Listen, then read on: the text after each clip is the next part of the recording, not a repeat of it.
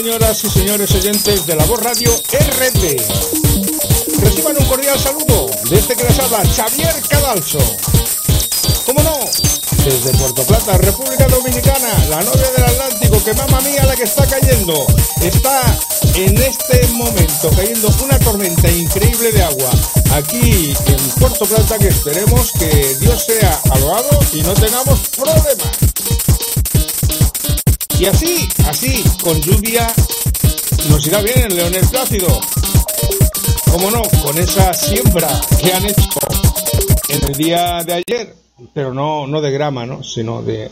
Ustedes lo, lo han podido ir viendo ¿no? en redes sociales, esas imágenes que hemos colgado esta mañana, que yo me personaba ilusionado al Leonel Plácido porque me habían dicho y me habían argumentado dos cosas, ¿no? La primera, que en el día de hoy tendríamos jugadores eh, de refuerzo que venían a, a, probar ¿no? con, con, Atlántico Fútbol Club, que venían de México venían de, de otros países.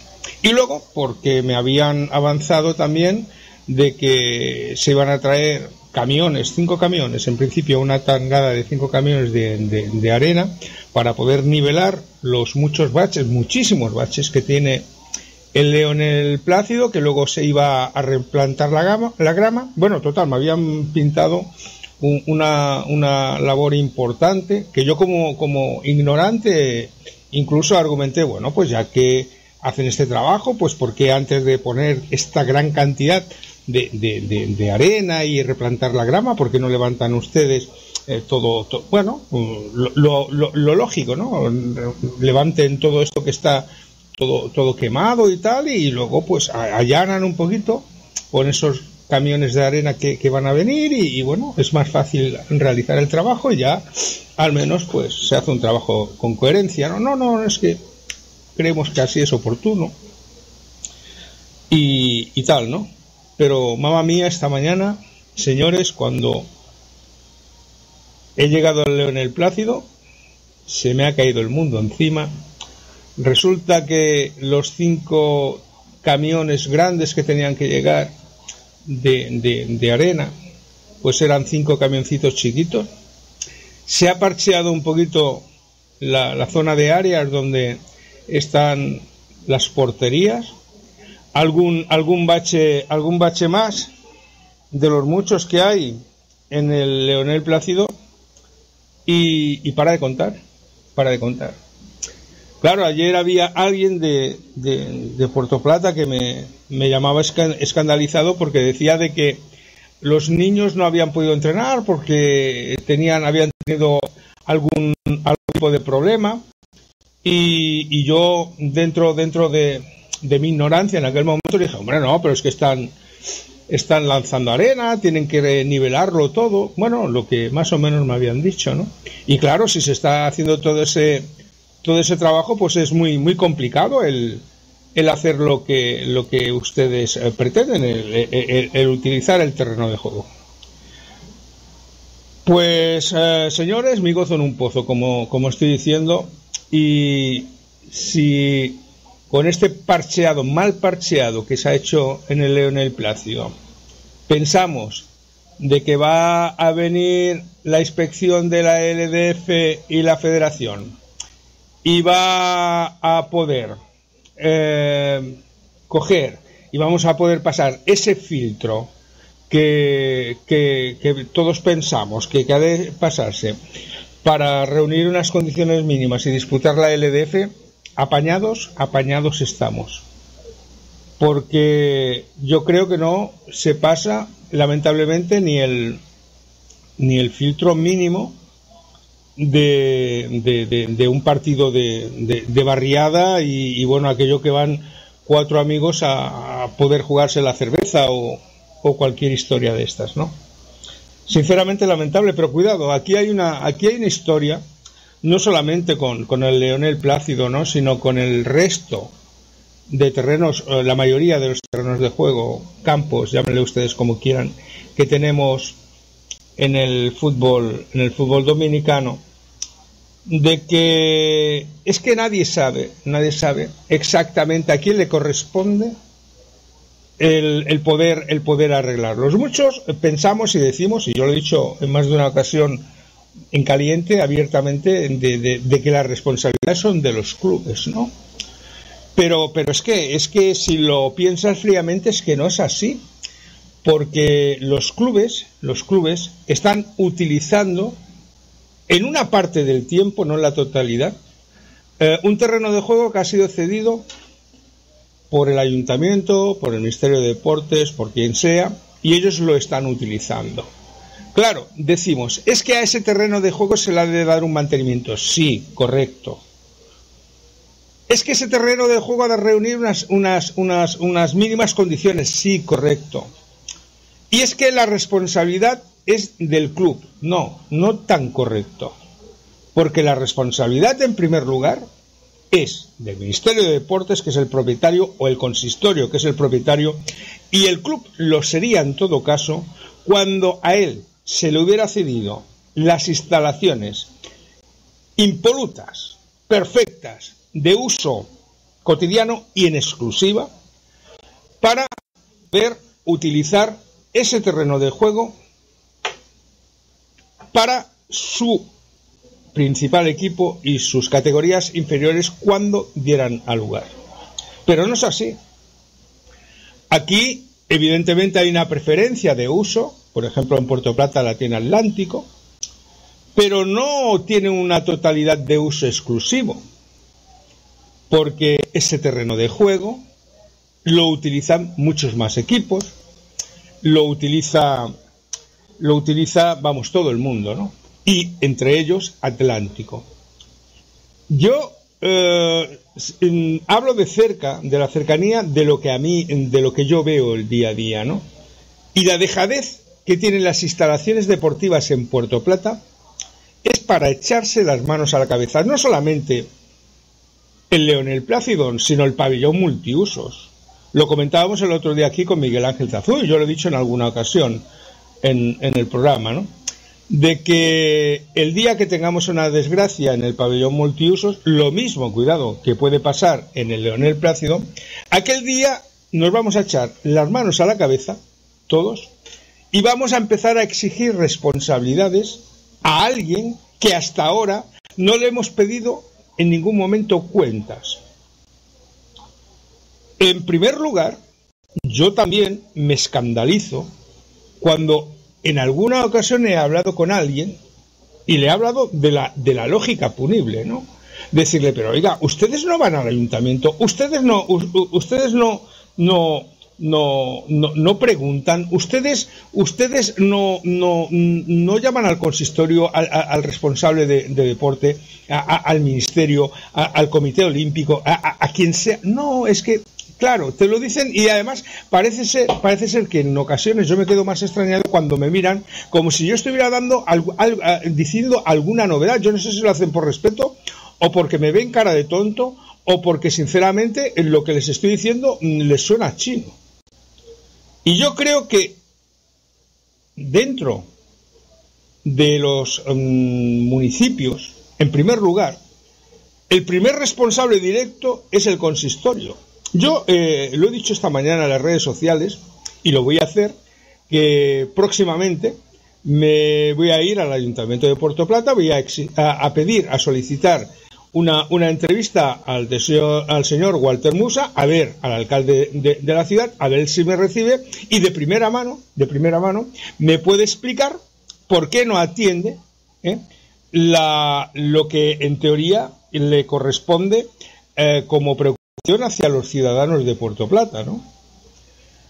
El por qué no se hace, el por qué no se hace un mantenimiento municipal, eh, el por qué el, estadio multiusos está así, y si me dice que es responsabilidad del Ministerio de Deportes, pues lo que tiene que hacer como consistorio en beneficio de sus vecinos y en, eh, en mérito a la seguridad de todos los vecinos, es coger y clausurar el Leonel Plácido y clausurar el multiusos.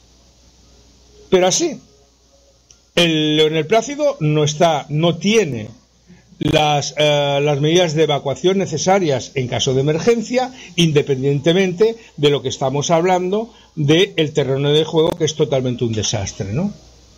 Pero ya les digo, No toda la responsabilidad es de Atlántico Fútbol Club, tiene su parte, evidentemente, pero si Atlántico Fútbol Club hace estas solicitudes al ayuntamiento y hace estas solicitudes al Ministerio de Deportes y hace estas solicitudes al, al, Comité Olímpico y no le atienden, tendría la obligación no de callarse por no quedar mal, sino de denunciarlo públicamente, porque al fin y a la postre él también es un responsable directo de cualquier cosa, de cualquier cosa que pasa dentro del Leonel Plácido cuando está entrenando, cuando está jugando, ¿eh?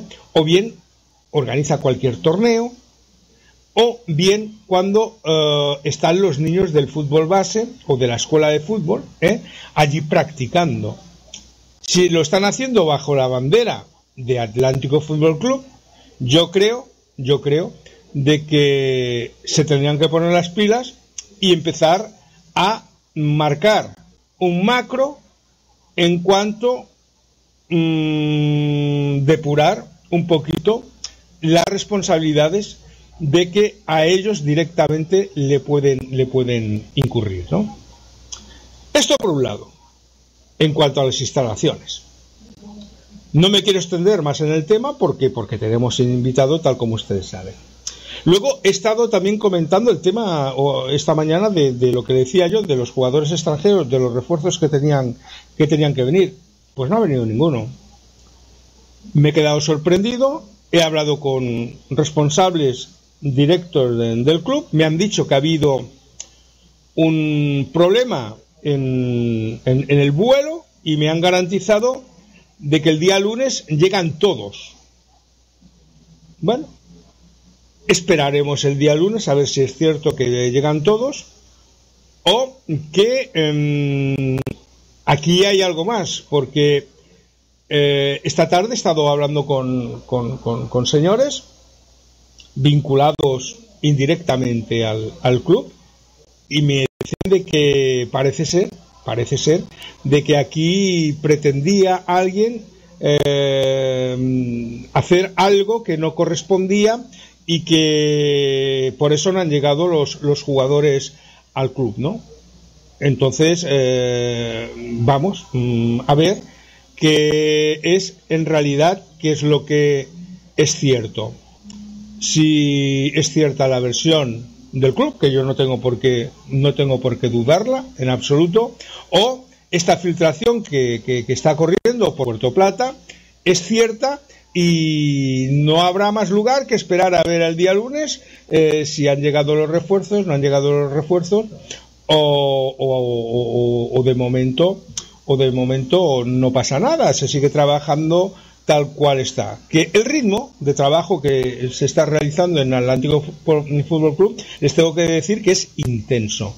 Intenso porque eh, yo, por ejemplo, estuve el día lunes, hoy he estado también durante un rato, pero el día lunes estuve por allá y los entrenamientos empezaban a las ocho y media de la mañana y llegaron, bueno, yo era las diez y media, aproximadamente a las once, y entonces que me fui de, de Leonel Plácido, porque tenía otras, eh, eh, otras gestiones que realizar, y, los chicos seguían, eh, bueno, en aquel momento iniciaban un partidillo de, de preparación, ¿no?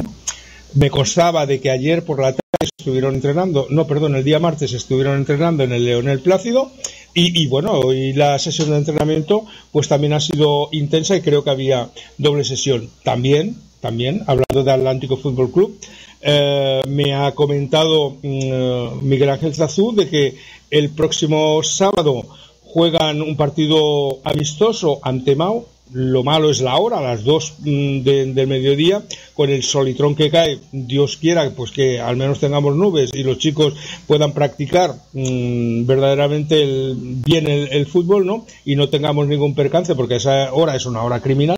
Pero, pero bueno, mm, por compromisos que yo les comento, el tema del multiusos del Leonel Plácido, ¿no? Aparte del hippuerto también lo utiliza mucho más, mucho más gente. Hay unos compromisos que, que, no se pueden mover y por la tarde hay utilización del Leonel Plácido. Y el domingo recuerden de que tenemos un campeonato de un campeonato de, de veteranos, un cuadrangular, ¿no? En el cual creo recordar eh, participa evidentemente Atlántico, eh, eh, participa Montellano, participa Moca y, alguno más que se me olvida en estos, en estos momentos. Son, es un cuadrangular lo que, lo que se hace.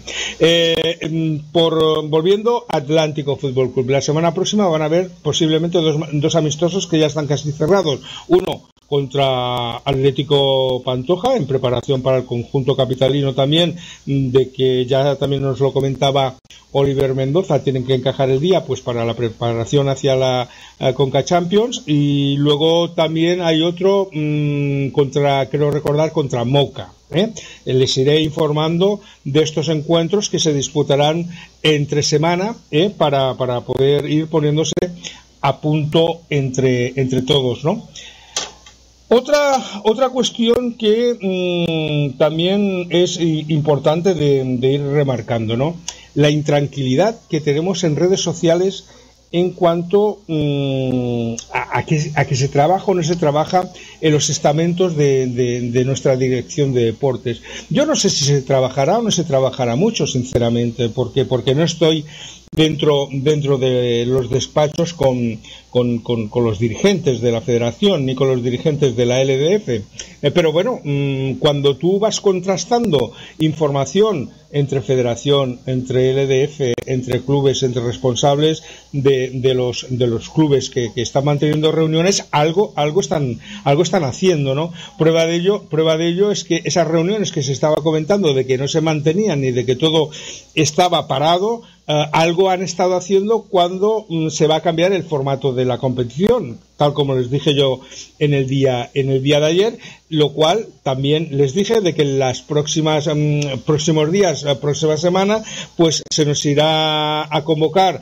a una rueda de prensa para decirnos exactamente cómo va a quedar ya definitivamente confeccionada la competición. Hay filtraciones que se va a volver a, liga regular, hay filtraciones de que más o menos se va a mantener con algunos retoques eh, el tema del torneo de, clausura. Mm, bueno, aquí podemos especular si va a ser partido de ida y vuelta, si los descensos en vez de cuatro van a ser dos, pero también, también recuerden ustedes de que estamos mm, dentro de la muy importante de saber cuántos equipos van a pasar el filtro, el gran filtro de que eh, exige la LDF para poder ser partícipe de la licencia de mm, primera de primera y segunda y segunda división. Vamos a ver cuántos equipos, cuántos equipos pasan ese filtro. Lo cual, mm, bueno, viendo viendo mm, la nomenclatura de, de, exigencias que hacen desde los estamentos oficiales, verdaderamente, eh, bueno, mm, a mí me preocupa no el tema de los estadios, porque yo supongo que aquí deben de ser un poco tolerantes, ¿no? Hasta hasta que los clubes reciban recursos, mm, hasta que aclaren quién les va a ayudar y, quién tiene la responsabilidad de la adaptación de esos, de esos estadios, bueno, pues aquí a lo mejor hay un poco de tolerancia, pero lo que no pueden ser tolerantes en absoluto es en el tema contractual, en el tema de, la seguridad social, en el tema de los seguros, en el tema de los contratos profesionales, tal, tal, tal, como yo les eh, enumeré el, el otro día, y en eso para mí sí que no se pueden eh, saltar ni un ápice, ni un punto ni una coma de esas exigencias porque, vamos, mm, romperían casi bien el derecho del trabajador y, estaríamos dentro de, la tesitura de volver a, caminar sobre eh, todo lo podrido que hemos dejado, parece ser, gracias a Dios, atrás. Otro tema, y el último que les toco hoy así en, en resumen, ¿no? Y es el, el, interrogante, el gran interrogante que se está mostrando en Atlético mm, San Francisco. Yo he intentado en diversas ocasiones ponerme en contacto con el señor Duque.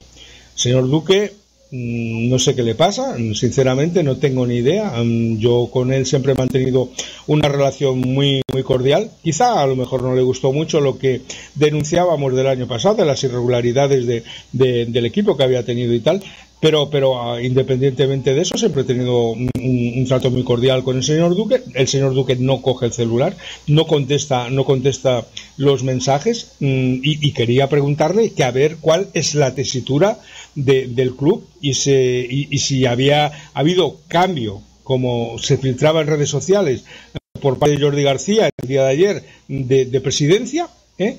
Eh, y o, o, o, o, no había ese cambio en, la presidencia. Pero claro, tienes que llamar a alguien del club para, para, para, para que te informe. Yo he intentado a través de otros, de otros contactos que tengo a ver si me pueden facilitar el, contacto con algún responsable de, de Atlético San Francisco y está todo Dios está mudo. Como comentábamos ayer con Jean Carles Well aquí en el programa, a mí, a mí señores, y eso ya se ha empezado a filtrar también por, por redes sociales, no sé, no sé, espero que no, espero que no, porque con una con una experiencia ya tuvimos bastante, pero no lo vayamos a ver un caso Barcelona Atlético bis. Ustedes saben que el equipo pasó de ser un equipo campeón a un equipo que luego lamentablemente pues ha ido mm, cubriendo la temporada, por decirlo de alguna forma razonable, eh, cubriendo la temporada como más o menos eh, con, la máxima dignidad posible y, más o menos como han podido, ¿no? Y entonces me da que a ver si aquel equipo que apuntaba que podía estar al nivel de Pantoja y, Cibao y OIM, pues se nos diluye, se nos diluye como un azucarillo y eh, bueno, ahí ya vamos a tener todo, todo el pescado, todo el pescado vendido. Vamos a, seguir investigando, a seguir intentando de, hablar con, todo, con todo este tema, ¿no? También, eh, bueno, sabemos que está la problemática de la tesitura de que ayer comentábamos del gran problema que puede tener Atlético San Cristóbal en cuanto a, a ese todavía no pago realizado a su jugador Alonso. Todo está de momento pero como Atlético San Cristóbal no haga frente al compromiso económico que adquirió con Alonso, pues verdaderamente puede ser el primer club de República Dominicana sancionado por FIFA y esperemos que no sea solamente económicamente, o deseemos, perdón, que no sea solamente eh, económicamente, ¿no? Porque aquí todo puede pasar de que como Atlético San Cristóbal pues eh, le caiga una sanción puede ser también deportivamente, y lo cual a lo mejor mm, le puede hacer incluso hasta perder la categoría. Imagínense lo que está pasando en España con el Reus mm, Deportivo, un equipo en segunda división, un equipo profesional que lo va a expulsar la Federación Española de Fútbol si no llega a su compromiso de pago antes del inicio de la segunda vuelta de la temporada. Hace días que está moviéndose en el hilo, en el alambre del peligro, parecía ser de que había llegado capital para poder cubrir, perdón, las deudas con sus jugadores. Evidentemente se cubrió una parte de las mismas, eh, pagaron los salarios, eh, creo recordar, a 11 o 12 jugadores, pero no lo hicieron con la totalidad, no solamente de la plantilla profesional, sino también de las personas vinculadas al club profesionalmente, médicos, eh, utilleros, eh, bueno, el señor de la taquilla, etcétera, etcétera, el Reus no ha, no ha hecho eh, frente al pago de esos compromisos y le puede eh, costar la categoría. Cuidadito de que esto es una vara de medir perfectamente porque esto nos puede pasar con mucha facilidad en República Dominicana a partir de la temporada próxima de que el que no cumpla con sus compromisos, la federación y la, y la liga lo pueden echar a la calle. Y a partir de la, de la temporada próxima, ya, si se cumple el tener que se debe de cumplir, el, tener depositados esos dos, millones por aval bancario, ¿eh? pues lo van a perder de, de tácito los clubs. Porque ahora se pueden ir de rositas. No, yo me doy media vuelta y te dejo un pufo y aquí no, aquí no pasa nada. No, no, hasta ahora esos 40 mil dólares o 40 y pico mil dólares que van a tener depositados, ¿eh? lo van a perder. Ya no les va a costar mm, coste cero como, como hasta ahora. Pero de todo eso, bueno, seguiremos ampliando conforme se vaya, mm, bueno, elevando las, las noticias a, público. ¿no? Hoy también se hacía oficial ya el, el fichaje por parte de Cibao, se sabía públicamente que era así, pero Cibao ya lo ha hecho público, de Miguel Joy ha, ha engrosado las, filas del conjunto de santiaguero, ¿no? Y ahora sí, ahora vamos ya a intentar de ponernos en contacto con nuestro invitado que es José, José Esteban Martínez, que tiene el cargo de director deportivo, de, perdón, de director departamento arbitraje y evaluador árbitro de la CONCACAF. Vamos a ver si nos ponemos en contacto con José.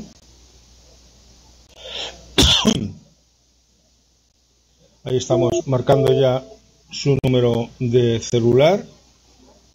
Ahí está.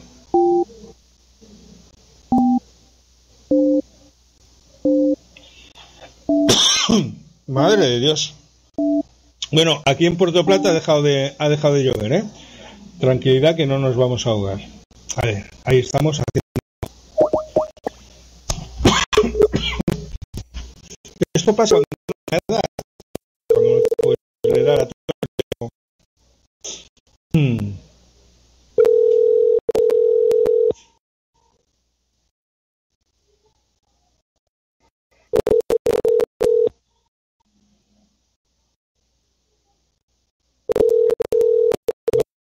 José, no el celular. Vamos a ver. No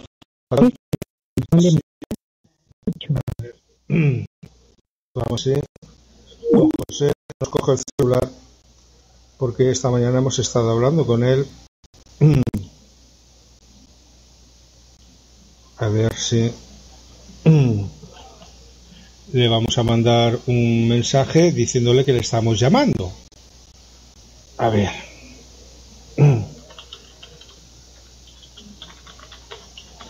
A ver si don José nos coge el celular. Vamos a volver a marcar su número. A ver, ahí estamos.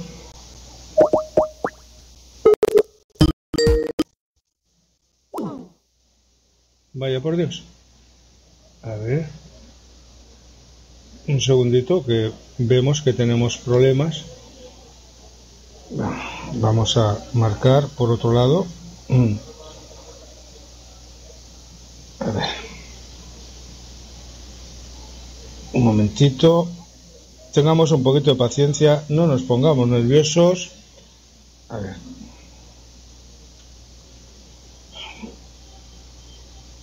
Ahí estamos lanzando de nuevo el llamado.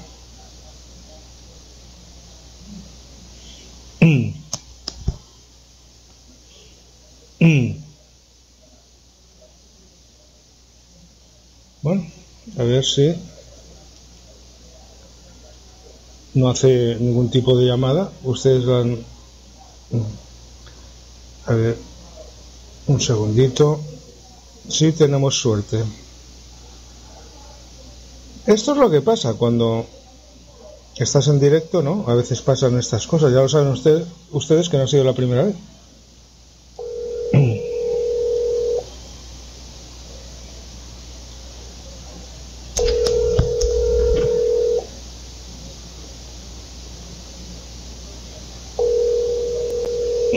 Ahí estamos haciendo la llamada. Hola, muy buenas noches. ¿El señor José Esteban? Sí, él le habla. Encantado de hablar con usted. Soy Xavier Cadalso de La Voz Radio RD. ¿Cómo está usted? Bien, bien, placer saludarle. Igualmente, muy agradecido de tenerle hoy en directo con, con nosotros aquí en nuestro programa y bueno, si le parece a usted, pues eh, en primer lugar quería presentarle, usted es el director eh, del Departamento de Arbitraje y Evaluación de Árbitros de CONCACAF, así es, ¿no? Así es, así es. Perfecto. Um, yo quería hablar con usted, eh, bueno, la, la, problemática, las venturas y desventuras del, del fútbol, bueno, de, de, del arbitraje en el fútbol dominicano. Ok, sí. Eh, en, primer, eh, en, primer, en, primer, lugar, señor José, eh, quisiera que nos explicara a todos los oyentes tal cual tienen ustedes en este momento la, la asociación arbitral en nuestro país. Eh, no, lo de la asociación es un aspecto que lo están manejando los árbitros, exclusivamente los árbitros. Uh -huh.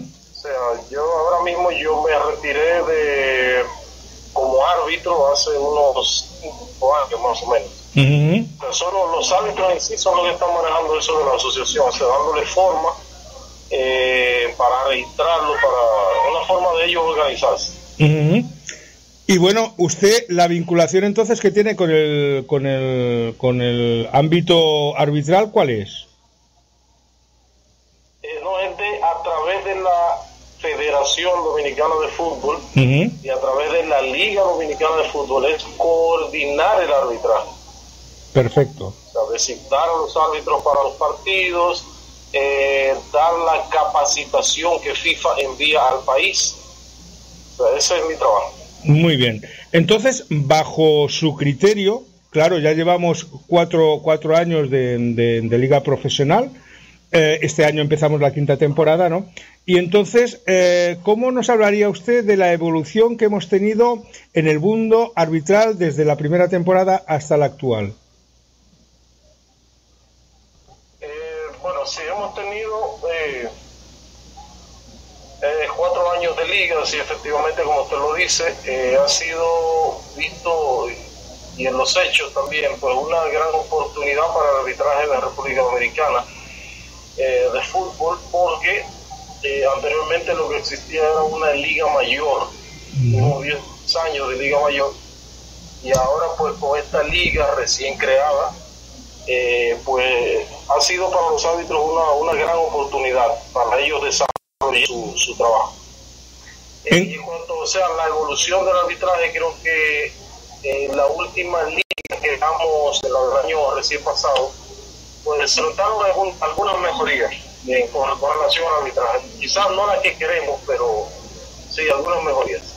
Eh, ¿Qué piensa usted de que se tiene que hacer en nuestro arbitraje para que los colegiados lleguen mm, en, óptima, en óptima condición a la competición? En primer lugar, hemos visto en muchas ocasiones de que la falta de preparación física en muchos casos, ¿no?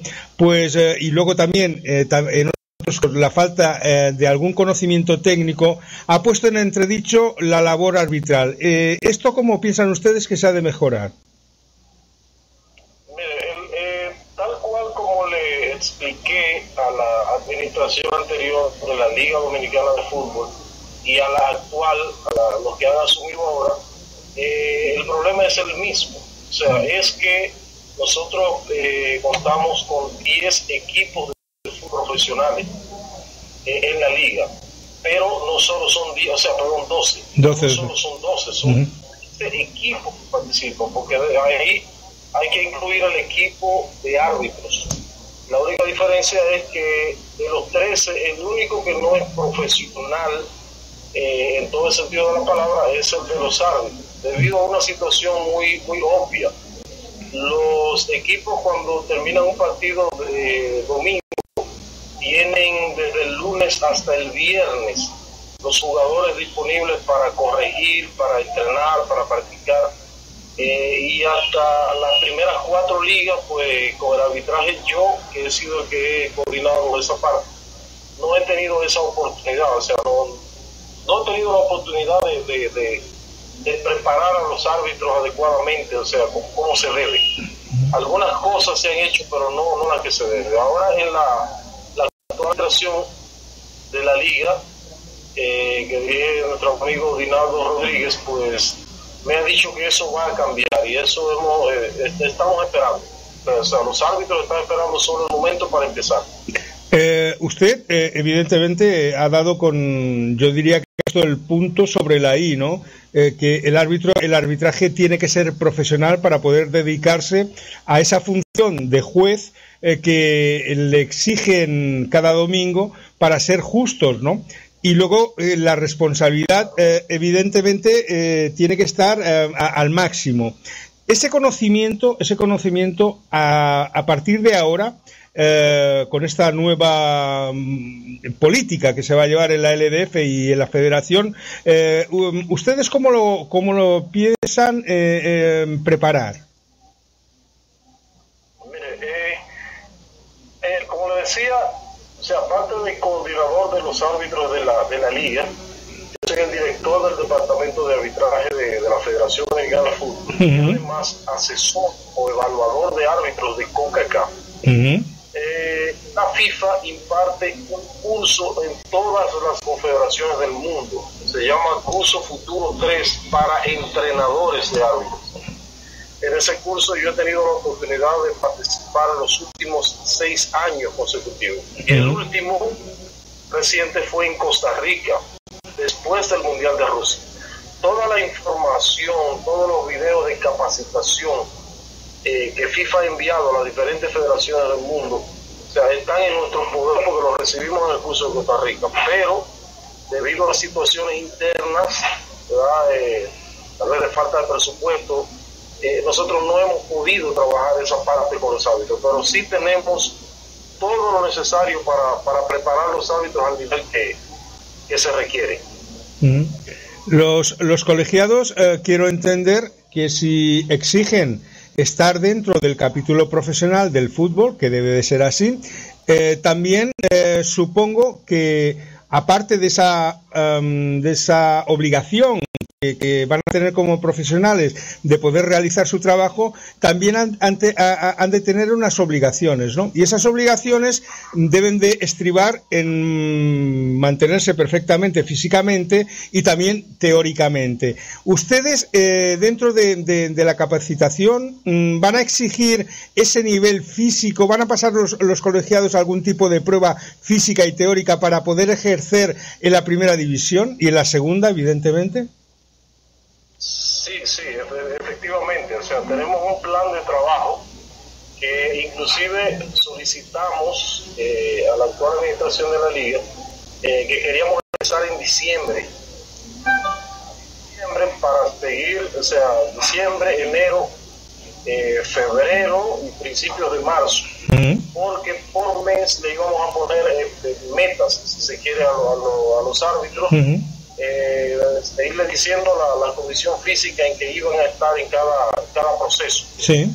Para, pero eh, todavía estamos, estamos esperando el, inicio de esa capacitación. Pues han perdido ya dos meses, ¿no, señor José? Eh, sí, por lo menos el mes de diciembre.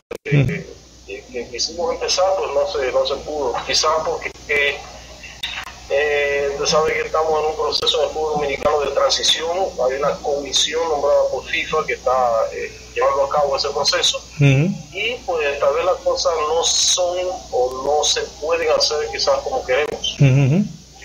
Cuando estamos hablando de la profesionalización del arbitraje en República Dominicana, supongo que esto conlleva y contempla de que dentro del estamento arbitral a esos colegiados se les va a tener eh, que exigir un, contrato profesional y van a estar metidos dentro del régimen de seguridad social y van a tener también su correspondiente seguro médico, ¿no?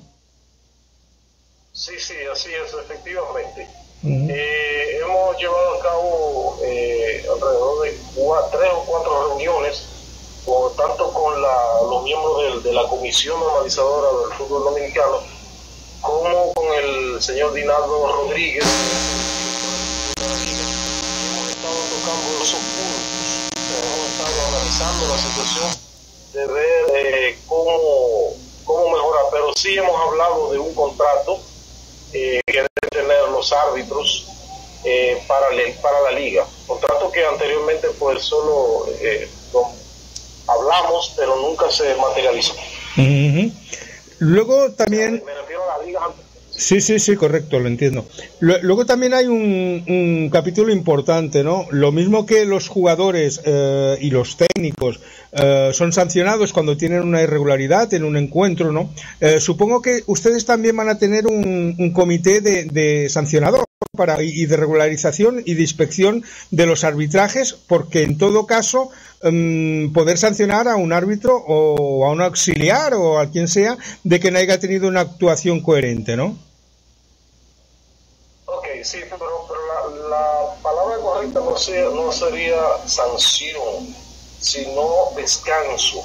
Ajá, correcto. Eh, la, misma, regla de juego de, del fútbol habla de que no se puede sancionar a un árbitro por una, qué sé yo, por, una falla técnica en un partido pero sí se lleva, como decimos, se mete, como decimos regularmente en el arbitraje, se mete a la nevera. Exacto. se, se, se, retira por un tiempo prudente, pero yo creo que lo importante, lo más importante es que en esta liga próxima, eh, ya lo hemos comentado con Dinaldo Rodríguez, vamos a contar con asesores o, mejor dicho, evaluadores de árbitros en cada uno de los partidos. Y esos evaluadores van a tener que rendir un informe al departamento de arbitraje. Eh, y en algunos casos esos informes deberán incluir eh, clips, o sea, de, videos eh, para mostrarnos situaciones especiales en algunos partidos y poder tomar decisiones, pero no solo de dejar en el descanso de esos árbitros, sino para en el fin de semana siguiente, antes de los partidos, pues poder eh, corregir con los mismos árbitros en un entrenamiento esa parte quizás hayan fallado. Eso creo que es lo más importante que hasta ahora no se había hecho. No, además es eh, la verdad que, le felicito por esa gestión porque porque es importantísimo tal como usted está comentando. Ese ese supervisor que habría de, árbitros sería totalmente independiente al, comisionado de, de la liga que viene. pasa es que los evaluadores de árbitros son ex árbitros, sea, personas que conocen de, arbitraje, que fueron árbitros. En el caso nuestro particular aquí en República Dominicana tenemos, vamos a tener alrededor de seis asesores y todos fueron árbitros FIFA en de tiempos anteriores, pero han seguido en el arbitraje y están actualizados. Eh, creo que lo, primero que le he planteado a la liga es que eh, debemos empezar por ahí, para impartirle un curso a dos asesores para que sepan cuál va a ser su trabajo y cuál es el nuevo formato eh, de, reporte que se está utilizando actualmente, que, no lo tienen. Eh, ¿van, ¿Van a tener ustedes en, el colegio arbitral también categorías de ascenso y descenso? ¿Van a haber equipos, o sea, perdón, árbitros de primera y árbitros de segunda y luego al final de temporada, dependiendo cómo hayan tenido la actuación arbitral, van a ascender o van a descender? Sí, sí, claro, efectivamente. Y eso no o sea, no es el, la palabra colegio, o sea, para nosotros y para muchos países no existe, lo que hay asociaciones, pero en nuestro caso es el departamento de arbitraje de la federación, que por mandato de FIFA debe establecer eh, unos rankings en, los árbitros y debe también poner, eh, por ejemplo, los diferentes niveles. Nivel 1, que sería el de los árbitros internacionales y los árbitros en la liga, el nivel 2, que sería de ligas pues de segunda división, y el nivel 3, que ya sería, ahí entrarían los principiantes, tanto de árbitros como de árbitras. Importante que haga usted también esta... Sí, adelante, adelante. Eso, lo va a determinar el desempeño de los árbitros, el nivel en el que, en el que caen. Perfecto. Eh, luego, mm, en el fútbol estamos acostumbrados a hablar de fútbol base, ¿no? Siempre cuando hablamos de fútbol base, de categorías inferiores, que los niños practiquen fútbol y tal. ¿Ustedes eh, se han planteado la posibilidad de crear también una escuela de niños arbitrales?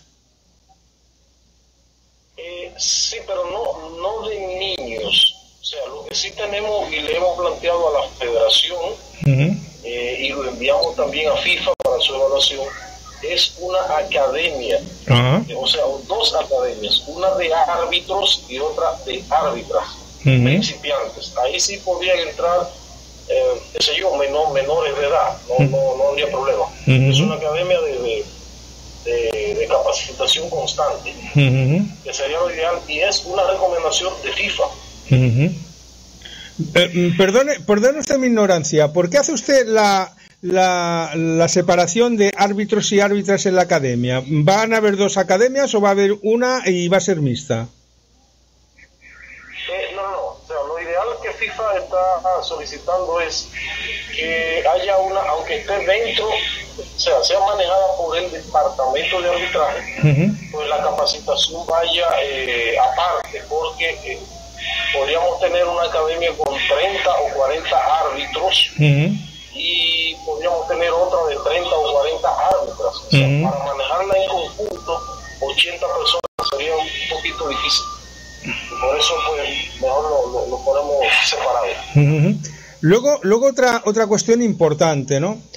cuando estamos hablando de arbitraje con usted, estamos hablando de arbitraje profesional, ¿no?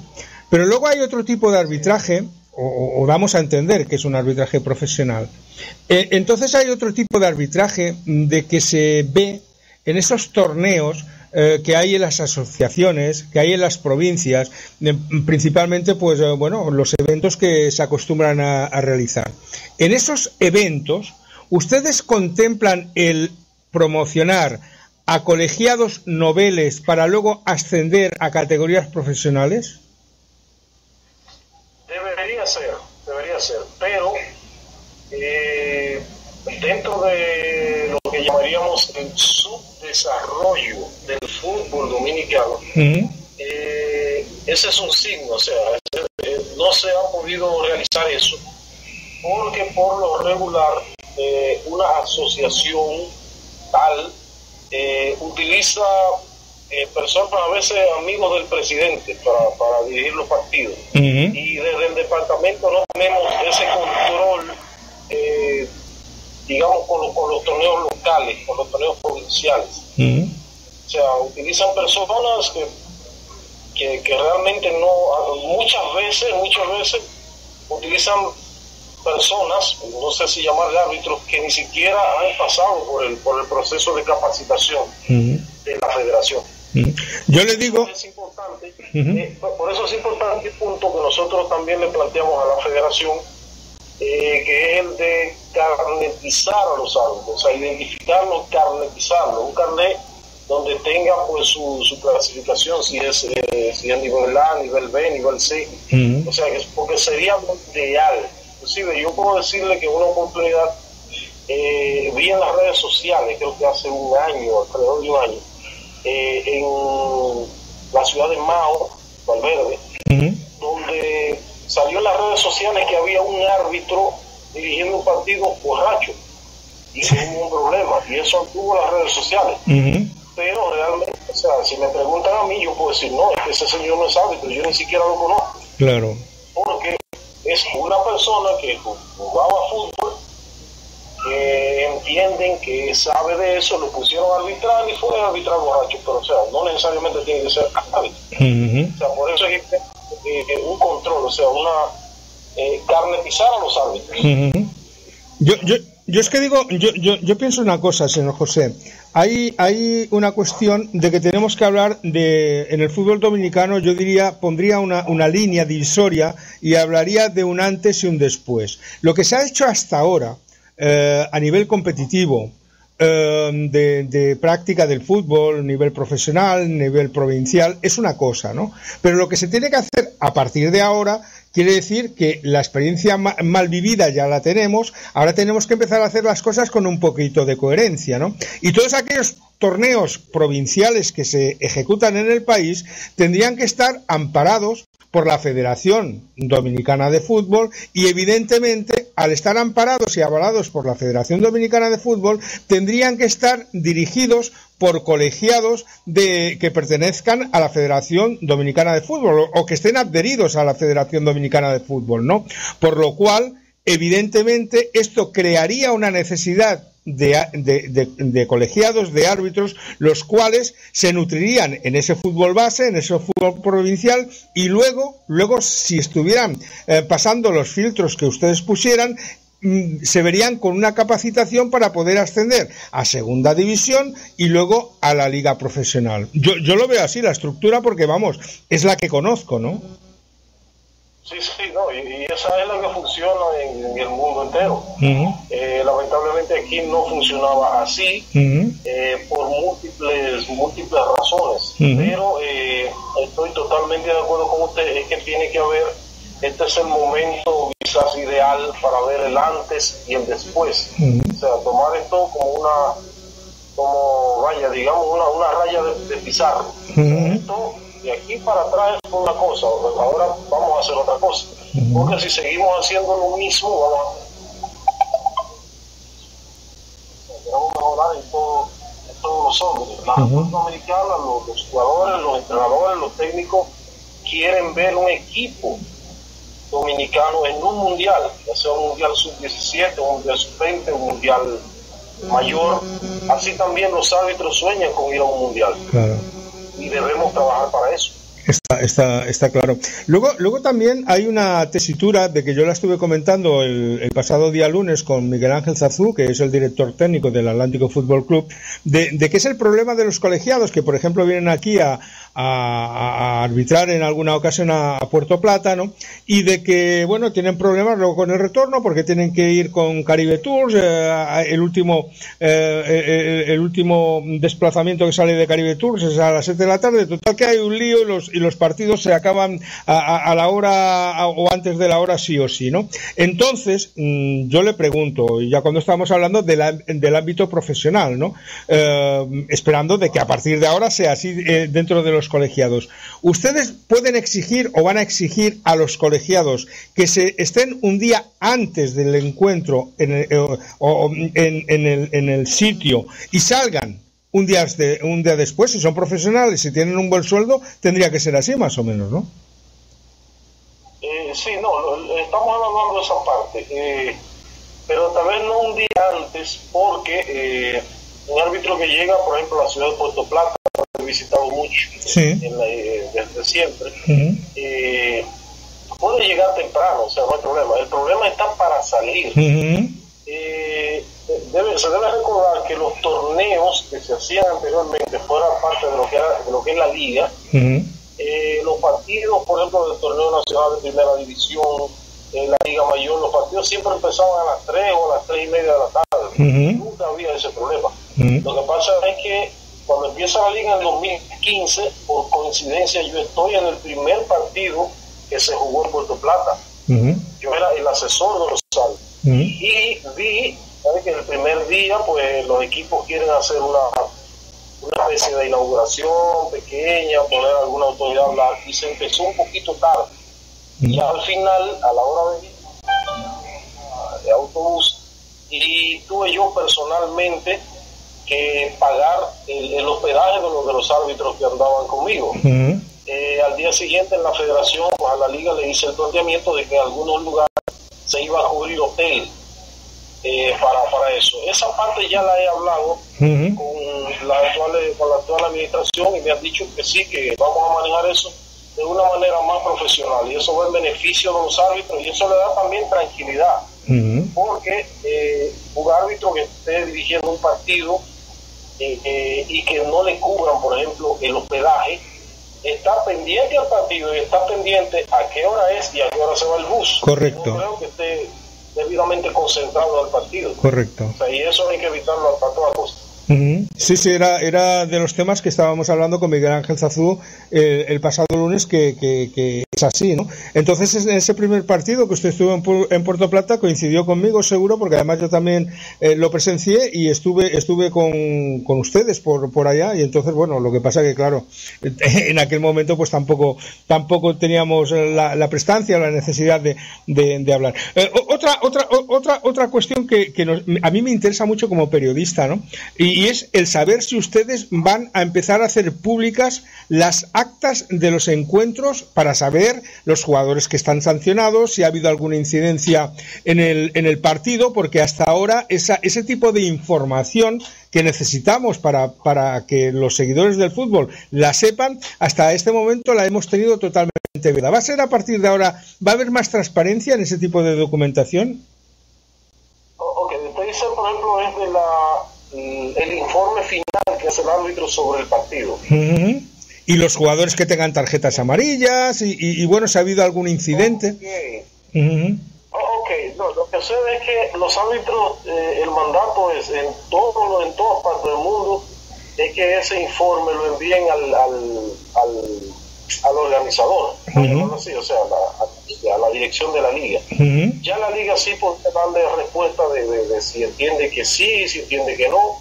Eh, hay organizadores, por ejemplo, FIFA, eh, los torneos que hace, pues eh, puede entrar a la página de FIFA y ver un informe de, un, de un partido tal que se haya jugado.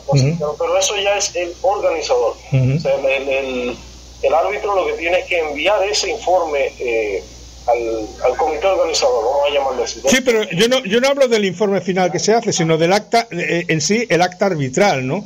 Porque a veces usted sabe de que eh, hay confusionismo, ¿no? Por ejemplo, uno está en la grada y más con, eh, con, con, las malas situaciones que nos encontramos aquí los periodistas, a lo mejor el colegiado ha enseñado una cartulina amarilla, yo se lo he apuntado al jugador número 5 y la, y, la cartulina era el número 7. Como no tengo acceso a esa, a esa acta arbitral de ustedes, pues entonces es es un, eh, es un gran problema, ¿no? Entonces, ese tipo de acta arbitral, eh, ¿tendremos acceso nosotros para poder consultarla? Ok. Eh, creo que al final de los partidos sí se está haciendo, pero lo hace el comisario. Porque se hace un informe con informaciones, vamos a decir, puntuales, algo rápido, y se el árbitro lo, lo, hace inmediatamente, termina el partido, lo finaliza ahí mismo y se lo entrega al comisario. Y creo que he visto en varios partidos eh, periodistas que entran al camerino de los árbitros y piden ese tipo de información. Bueno, pues debe, deben de ser unos, deben de ser unos privilegiados. Deben de ser unos privilegiados porque yo lo he intentado en alguna ocasión y bueno, acceder a la zona de árbitros ya no me han dejado y, mucho menos el darme el informe arbitral. Pero bueno, mm, quizá, quizá algún compañero. Pero, pero sí le, agradezco esa, esa, esa, información que usted me da a mí. Que lo voy a llevar al, seno de, de la LDF para tratar ese punto que creo que es muy importante, o sea, porque la, el, el, el, papel de ustedes es fundamental, porque es informar a, a, los que verdaderamente queremos traer al fútbol, que es al público. Está claro. O sea, vamos, voy a ver de qué manera pues se le facilita, le, prometo esa parte. Muchísimas Muchísimas, uh, muchísimas gracias. Ya para, para ir concluyendo, señor, señor José, cuando cree, de que podremos hablar de que el estamento arbitral en República Dominicana tiene los mínimos, los mínimos eh, condicionantes para poder mm, disputar con garantía y dentro de su fase usted lo ha dicho perfectamente que es un equipo más de la de la LDF ¿cuándo podrá disputar con garantía su trabajo a partir de, de ahora? ¿cuánto tiempo lo vamos a empezar a ver ya en esta temporada? debería de ser así, ¿no?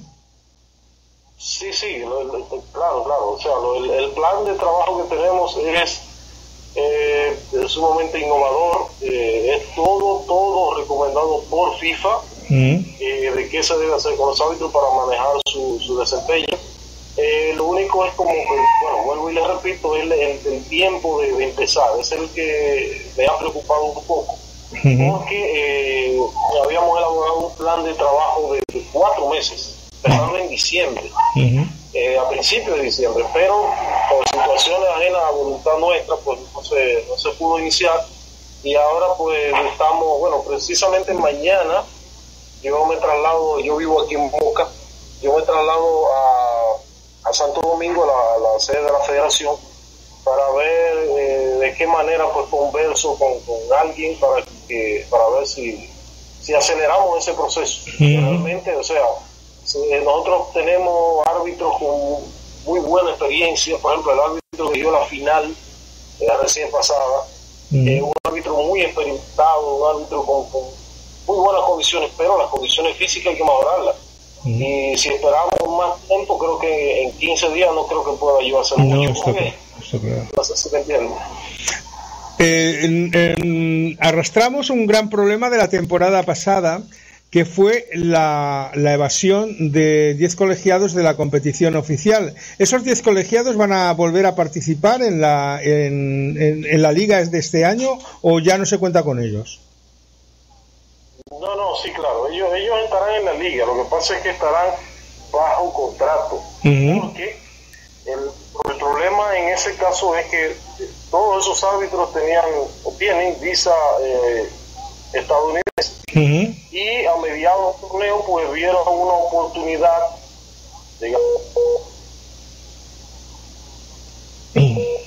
a ver parece ser que a alguien le está entrando una entrada y hemos perdido el, el, llamado con, con, el señor. Sí sí sí sabía se ve que tenía usted alguna llamada por ahí no sí sí dígame. Eh, sí sí no la, inmediatamente ok pues le decía que esos árbitros pues, fueron eh, a Estados Unidos. Decidieron irse eh, para durar un mes y medio dirigiendo los partidos allá se iba a ganar un dinerito, pero eh, a falta de que no teníamos una, un contrato, que no teníamos bajo contrato, pues no había forma de decirle no se vayan.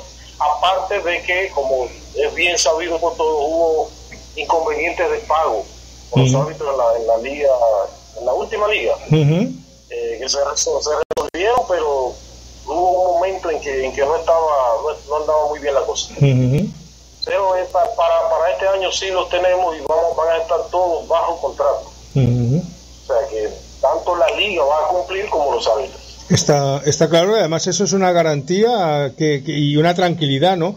Que van a tener los, los, los colegiados. Una, una, una pregunta, ¿los, ¿los colegiados van a ser profesionales los de la, los de la LDC al 100% o van a tener, se les va a permitir alguna, algún trabajo anexo?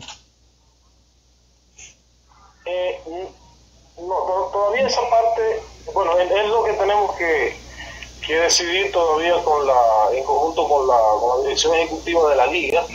Lo ideal es que fueran profesionales en todo el sentido de la palabra, de que los tuviéramos a tiempo completo. Eh, no sé si todavía el fútbol, vamos a decirlo así, el fútbol dominicano eh, pueda brindarnos esa oportunidad, pero eh, vamos, vamos a tratar. Lo que sí, puedo decirles que ya sí hay árbitros que actúan de tal manera, o sea, árbitros que hicieron cálculos de lo que ganan en el arbitraje y lo que ganan en sus trabajos habituales y, han, y han preferido dejar el trabajo habitual y solo con el arbitraje.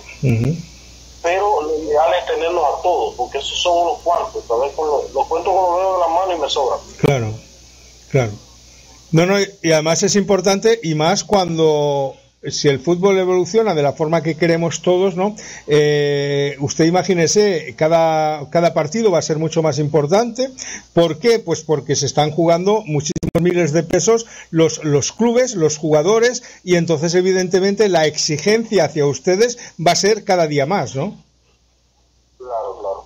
será, será, mayor. O sea, mientras más la, la competencia, mayor es el el, las exigencias.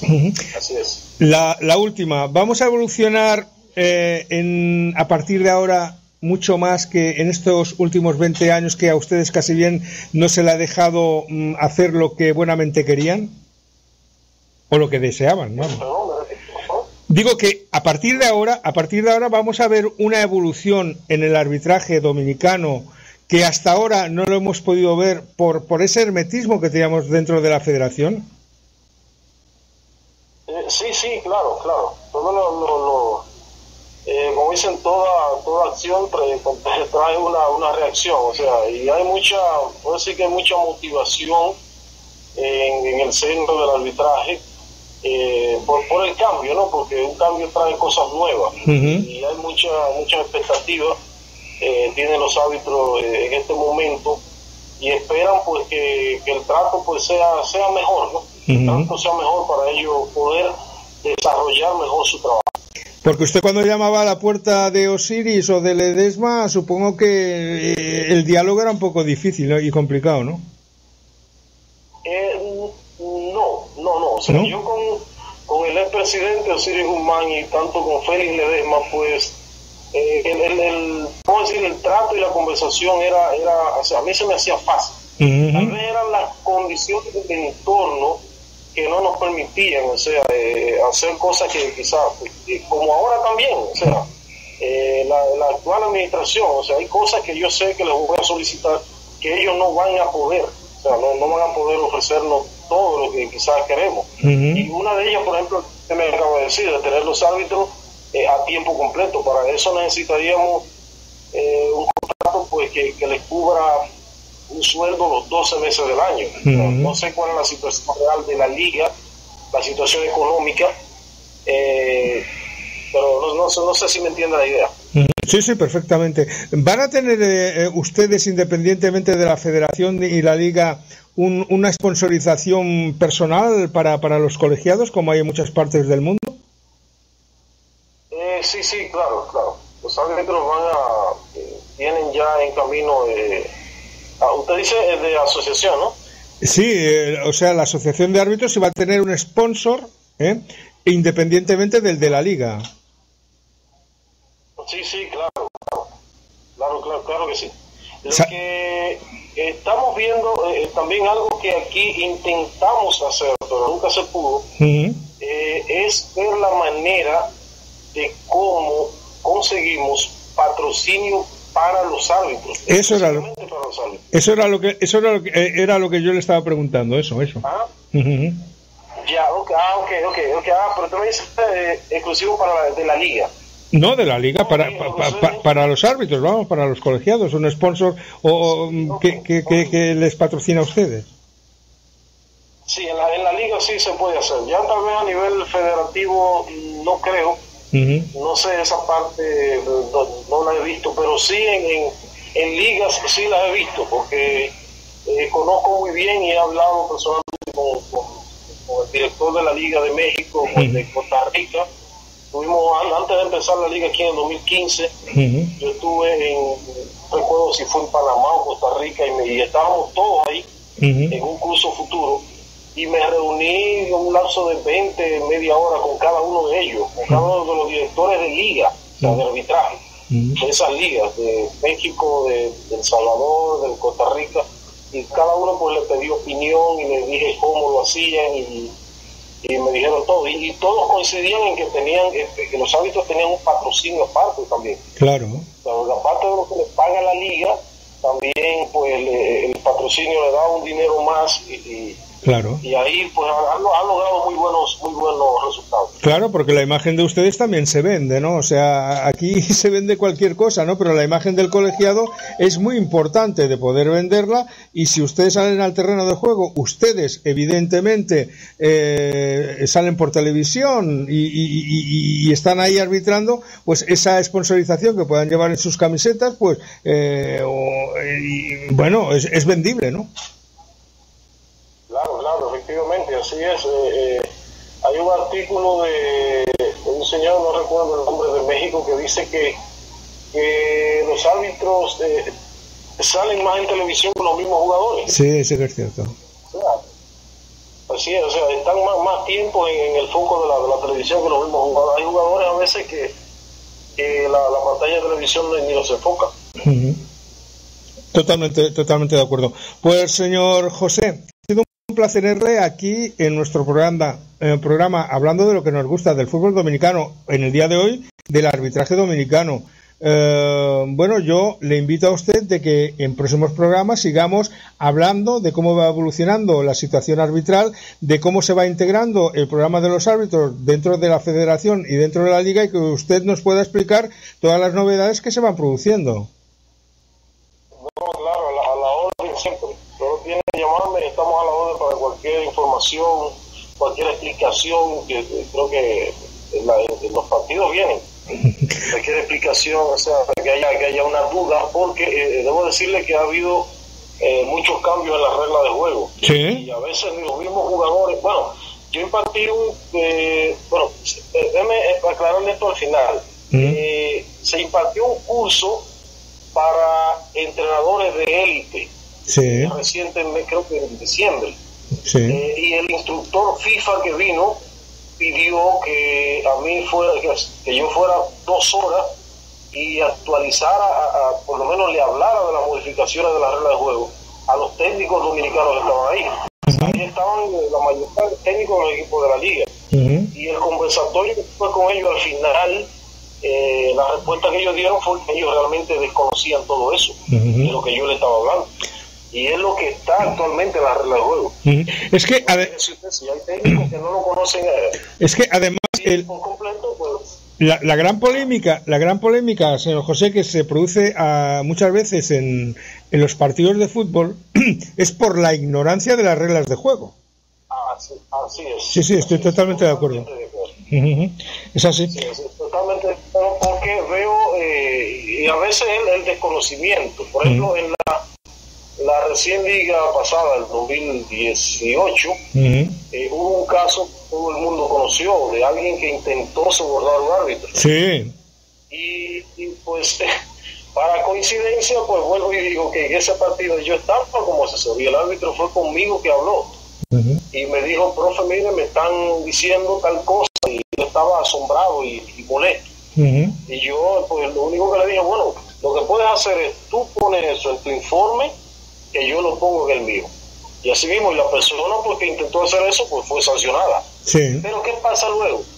A los seis, siete meses después de haber pasado ese caso, veo que alguien en una en Facebook eh, pone una información de que eh, los árbitros dominicanos están mal y que está- lo- los están sobornando. Y yo, pero Dios mío, o sea, no sé si me entiendes. O sea, eh, al árbitro intentan sobornarlo y él actúa correctamente y alguien por una red social dice lo contrario.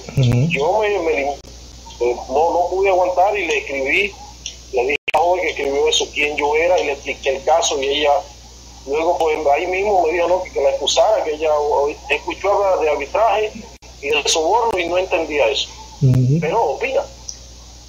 ¿Se, se han, Imagínese usted la regla de oro. se han producido muchos casos de intento de soborno en el fútbol dominicano? No, no, no, es- no, es, no es muy común aquí. Eh, Ujú. bueno, no es ese tipo, eh, pero que yo sepa, no. porque aquí por lo menos eso podemos decir, o sea, porque eh, no es tanto el, el- caso grave es quien intenta sobornar, y estamos hablando de, de clubes profesionales, que creo que conozco muy bien eh, a, a todos los, los- los dueños de clubes, los técnicos, y aquí esa parte no. No, fue, fue, fue el, el caso, el caso que usted habla fue un partido de Atlético de San Francisco, ¿no? Sí, sí, sí, así es. Que sa- eh, saltó el escándalo. Tal vez un, un- un empleado, pero no creo que haya sido eh, eh, El segundo técnico una, era. una- una- una actitud, sí, creo que no, no, no, no creo que haya sido una actitud, de- eso fue algo particular, o sea, una Ujú. decisión propia, ¿entienden? Pero no, no, no creo que de los dueños de los clubes haya salido semejante estupidez. Sí, fue un caso, como usted bien apunta, de que se comentó no solamente en redes sociales, sino también en los medios de comunicación, eh, porque, porque vamos, era, era un escándalo eh, que, que- que era tácito, ¿no? Y entonces sí que se apuntó de que fue un intento de soborno al, al, al colegiado, ¿no? Y, y- y- y ya está, no, no, no hubo, no, no se acusó de que el árbitro se vendía, sino, al menos en el medio que yo estaba, sino que hubo un intento de soborno al, al colegiado, el cual, pues, eh, tal como usted bien ha explicado, se denunció, se de- denunció al comisario, que era usted, por lo que nos está diciendo, y se, y se, y se, y luego se sancionó al, al, al susodicho, ¿no? O sea que todo eso quedó limpio y, y- eh, eh, en nada, en cuestión de, de muy poco tiempo. Sí, sí, así es, así es. Pues eh, o sea, que, que- que se pusiera una, un stop a eso y se enviara un, un, un mensaje a todo el que está eh, ligado al, al, al fútbol dominicano, de que esa parte, por lo menos esa parte en este país, aquí eso no prospera. Ujú. Pues señor José, como le digo, muchísimas gracias por atenderme y en una próxima pues estaremos en contacto con usted. Muchas gracias. Sí, sí, a la orden, gracias y pase buena noche. Buenas noches. Bueno, y ahí teníamos pues las palabras del señor José Esteban Martínez, el, como hemos dicho, eh, director del Departamento de Arbitraje y Evaluación de Árbitros de CONCACAF. Mm, bueno, yo también creía que pertenecía a la, a la asociación de, de árbitros eh, y quería preguntarle de cómo llevaba el tema de la, de la asociación y demás, pero bueno, no era, no era su apartado y ya buscaremos al, responsable que lo, que lo está haciendo para que nos vaya indicando cómo va todo ese proceso, porque tal como les he dicho, tal como les he dicho desde un inicio de, de este programa, ya nos encontramos en el número 28, eh, mi intención, mi intencionalidad en, en este, en, este espacio de, la Voz Radio RD tener a los protagonistas que les hagan llegar a ustedes la noticia y les hagan, nos aclaren como, como vienen haciendo, pues todas aquellas necesidades o incógnitas que, que, que, a veces tenemos, ¿no? Y qué mejor que en una conversación abierta con ellos, pues eh, nos explican todas las tesituras de sus equipos, de, de los departamentos, mmm, bueno, de asociaciones, ya lo han visto ustedes, y, y demás, ¿no? Eh, y es, es lo que lo, la intencionalidad que, que, tengo. Mire, mañana vamos a, tener a, a, un invitado que se lo anunciaré mañana por la mañana en redes sociales, pero va a ser un presidente de un grupo, ¿ok? y de un club que, que va a estar con nosotros y nos va a explicar pues todo lo que está conllevando ese proyecto deportivo que están preparando para esta próxima temporada. Vamos a ver si a ese presidente del club le podemos ir sonsacando ¿eh? esos acuerdos que han llegado de modificaciones en la presente LDF. Vamos a investigar también eh, a quién van a tener como director eh, técnico. Vamos a investigar muchísimas cosas. Y evidentemente, pues cómo está viviendo él pues todo este cambio en la organización de la federación, en la organización arbitral, en la LDF. Vamos a aclararnos dudas, que es de lo que se trata. Y mañana, mañana, si hay alguna última novedad que haya saltado a los medios, pues recuerden que tienen una cita aquí a las 8 pm en esta su sintonía, la de la voz radio RD. Estoy inmensamente agradecido a ese seguimiento que nos están haciendo no solamente en redes sociales, porque las redes sociales de, la voz mm, radio o, la voz del fútbol dominicano por a poco, a poco, a poco van creciendo, pero, pero, pero no tenemos una extensa uh, mayoría de, de, de, seguidores, cada día más, eso sí. Pero lo que, los, que, los seguimientos que nos estáis haciendo, como siempre, en Twin, en Listen, en Spreaker, eh, bueno, en todas esas 12 plataformas que emitimos a la vez en directo, está siendo masivo. El cambio de horario nos ha ido bien porque os pillábamos a muchos a volapié, ¿no? Ahora no, ahora ya sois fieles desde, desde el inicio de, del programa. Os lo agradezco. Y os mmm, sigo prometiendo el intentar no defraudarlos un día a día. Hay días que las cosas salen mejor, hay días que las cosas salen peor, pero lo que os puedo garantizar es que intento poner el máximo de cariño y de profesionalidad en todas las palabras que salen de mi boca y eh, extender esas entrevistas lo máximo, eh, mm, eh, como os diría, con, el máximo exponente a, analista a todos los invitados que pasan por nuestro micrófono. Bueno, os dejo ya aquí, no os doy más la vara, ahora a cenar un poquito y a descansar y mañana recordar que tenéis una cita conmigo aquí. ¿A qué hora? Pam pam, a las 8 pm, en la voz radio RD. Bye bye, hasta mañana, nos encontramos. Xavier Cadalso, bye bye.